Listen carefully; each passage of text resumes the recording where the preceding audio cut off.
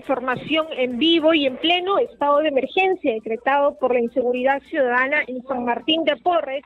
Dos delincuentes armados dispararon contra agentes de la Policía Nacional para evitar ser intervenidos. Esto ocurrió en el cruce de la avenida Naranjal con el Girón Gircán en San Martín de Porres, como ya lo hemos precisado.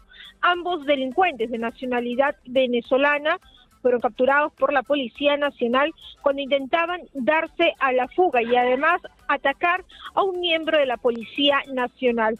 Vamos a escuchar las declaraciones del coronel Manuel Vidarte, jefe de la División de Emergencia.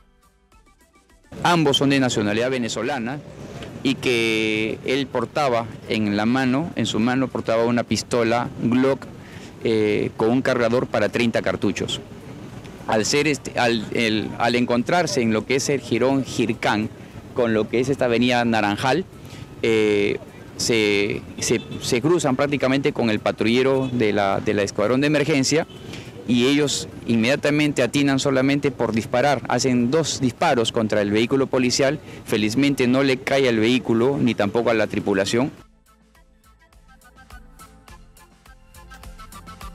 Bien, Sido las declaraciones del coronel Vigarte. Los efectivos policiales que lograron intervenir estos dos delincuentes de nacionalidad venezolana se encuentran a salvo, fuera de peligro.